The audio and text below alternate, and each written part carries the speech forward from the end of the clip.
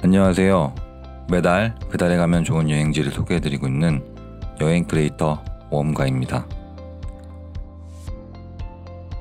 2월에는 강원도 지역에서는 눈이 내리는 동시에 제주도와 남쪽 지역에서는 유채꽃과 매화꽃을 볼 수 있어 지역별로 다채로운 매력을 느낄 수 있는 달입니다.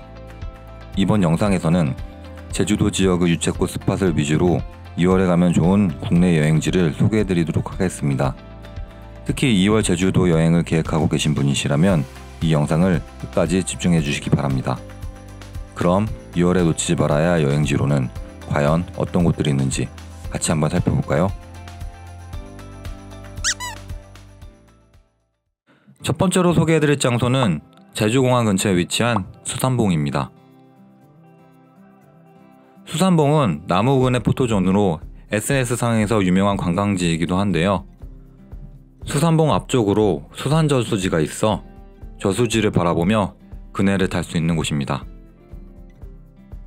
수산봉 그네는 정상에 있는 것은 아니고 비 위치에서 계단을 따라 조금만 오르면 만날 수 있습니다. 수산봉 그네를 타고 조금만 더 오르면 수상봉 정상에 도착하는데요. 수산봉 정상에는 매화나무가 심어져 있어 매화꽃을 볼 수 있습니다. 추천 방문 시기는 2월 말에서 3월 초입니다. 같이 가기 좋은 여행지로는 구엄리 돌염전이 있습니다. 구엄리 돌염전은 구엄리 주민들이 소금을 생산하던 천연 안반인데요. 차락으로 뚝을 쌓아 바닷물을 가두고 햇빛에 말려 소금을 생산하던 곳입니다. 모양이 꼭 이 과자를 닮은 것 같죠? 다음으로 소개해드릴 장소는 삼방산입니다. 삼방산은 제가 만든 달력 6월달 표지로 사용한 곳이기도 한데요. 유채꽃밭이 조성되어 있어 삼방산을 배경으로 유채꽃밭에서 사진을 남길 수 있는 곳입니다. 삼방산 유채꽃밭이 유명해지면서 주변에 여러 유채꽃밭이 조성되었는데요.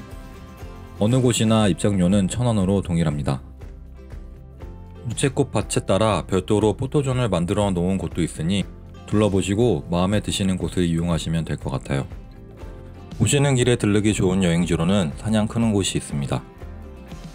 크는 곳은 기찻길 포토존으로 SNS상에서 유명해진 곳인데요. 산책로를 따라 백설 공주의 집, 기찻길과 같은 여러 포토존을 조성해 놓아 제주의 청정 자연을 만끽하며 산책도 하고 예쁜 사진도 남길 수 있는 곳입니다.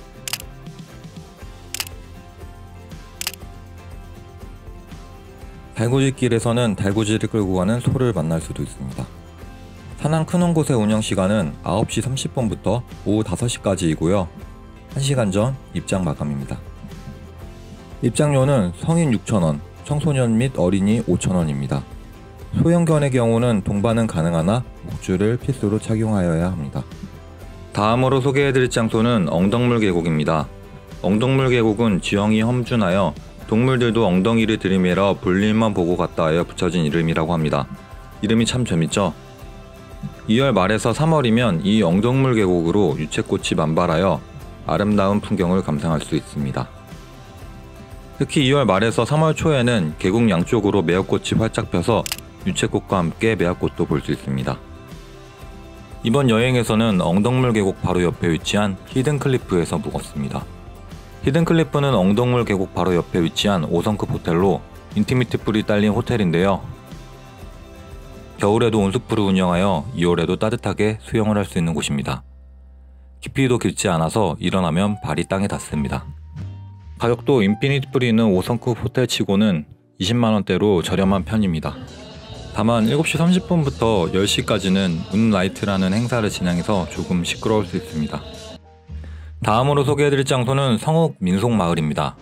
성읍 민속마을은 조선 세종 때 세워진 마을을 잘 보존해 놓은 곳인데요. 마을의 남문에 해당하는 정의연성 앞으로 유채꽃밭이 조성되어 있어 2월에서 3월에 방문하시면 예쁜 유채꽃밭을 볼 수 있는 곳입니다. 입장료는 별도로 없기 때문에 유채꽃밭과 함께 간단히 마을을 둘러보시고 오시면 좋을 것 같아요. 성문을 배경으로 유채꽃을 보고 싶으신 분이시라면 성읍 민속마을에 들러보세요.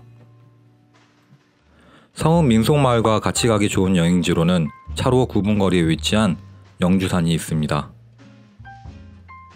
영주사는 일출 명소로 아름다름 찾아오는 곳이기도 한데요. 아침에 일어날 수 있다면 여기서 일출을 보시는 것도 좋을 것 같아요. 사람도 많지 않아서 여유롭게 일출을 볼 수 있었습니다.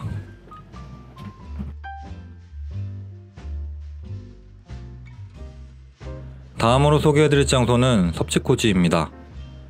섭지코지는 제주 많은 사람이 많이 배출된 곳이라는 뜻의 제주도 방언입니다. 그만큼 이곳에서 뛰어난 인재가 많이 나왔었나봐요. 지금은 관광지로 운영되고 있는 곳인데요. 이곳 역시 입장료는 따로 없어서 부담 없이 구경할 수 있고요.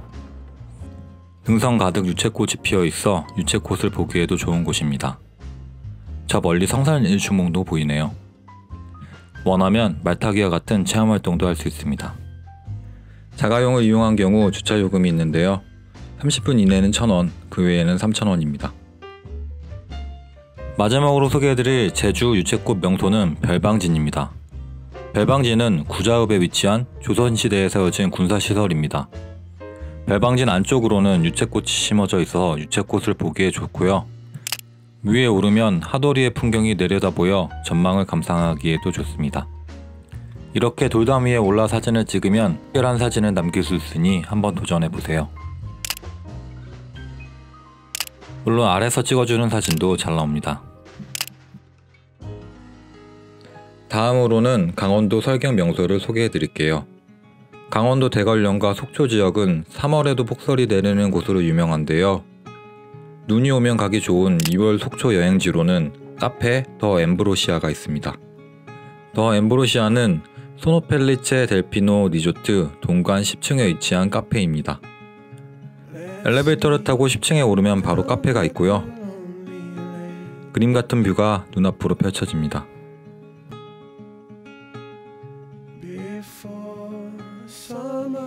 정면으로 눈 쌓인 울산바위의 모습도 볼 수 있습니다.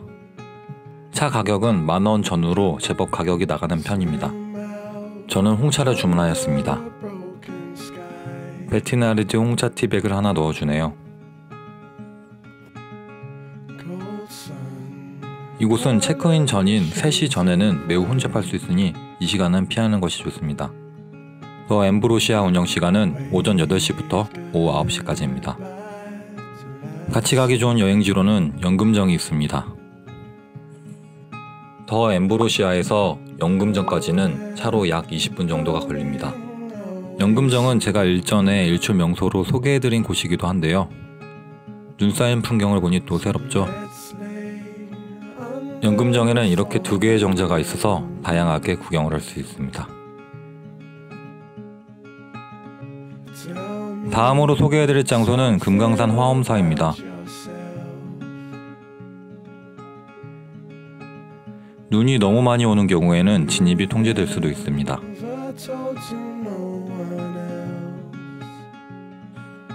길이 미끄러울 것 같아 저는 입구에 차를 대고 걸어서 들어갔습니다.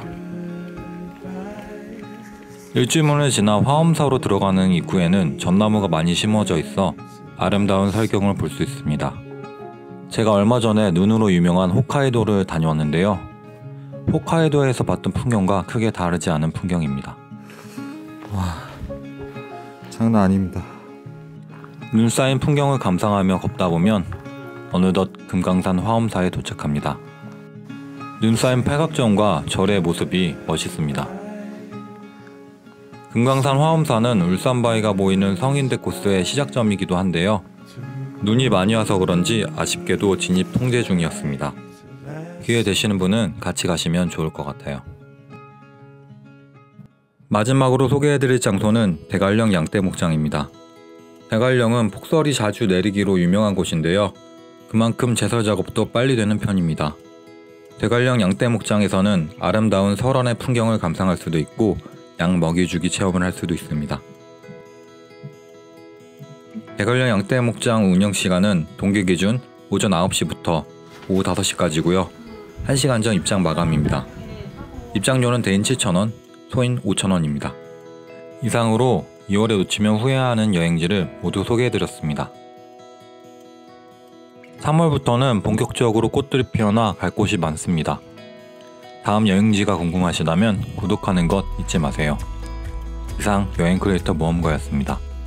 감사합니다.